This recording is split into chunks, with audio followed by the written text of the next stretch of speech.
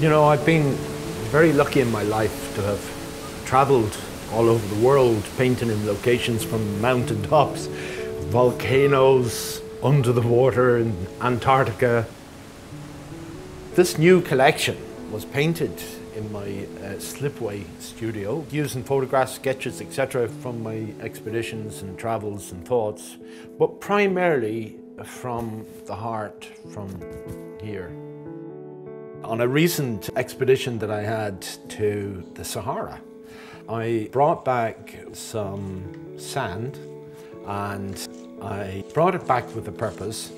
And the purpose was to put uh, sand in the paintings that I was going to do that represented Sahara. And this is one of the paintings that I actually put sand into the painting. It's called Timeless Shores. We all understand the connotation of sepia.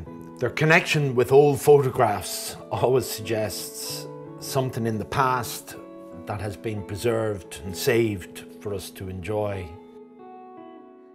This painting is called Entwined with Nature. It's a particular painting that's really close to my heart. I remember taking a walk one starry night and the, the full moon was glistening over the roaring tide. And I stopped and closed my eyes just to listen to the voice of nature. And when I opened my eyes, a seal had come into the shore and positioned itself inches from my face. And it's moments like this when I feel such gratitude for this amazing world that I feel an overwhelming desire just to paint. This painting is called Eternal Tides and although primarily this painting is all about nature, to me it is actually a comment on the relationships that we have both one with another and with nature. I think your eye is immediately drawn to the man and woman walking across the sand in a beautiful, awe-inspiring location. The drama of the sea and the sky only add to the sense of romance. I deliberately stressed that this is a sense of timelessness by using colours that would not set it at a particular moment of the time of day. So in a sense, it is wherever and whenever you think it is. This one is called Moments Forever. And do you know, it's a privilege to have painted the sunset in so many different parts of the world. The tones here are extremely warm, which I suppose represents reaching out to draw us in to that moment that we just want to hold forever. This, this painting I've called Memories, very simple.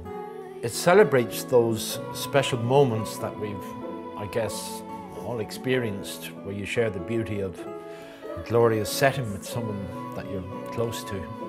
I guess I'm a romantic, but even when you're on holiday, you can feel as if they're stolen moments.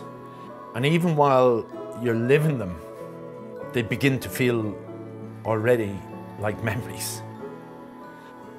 It's a happy painting and it's a painting filled with memories.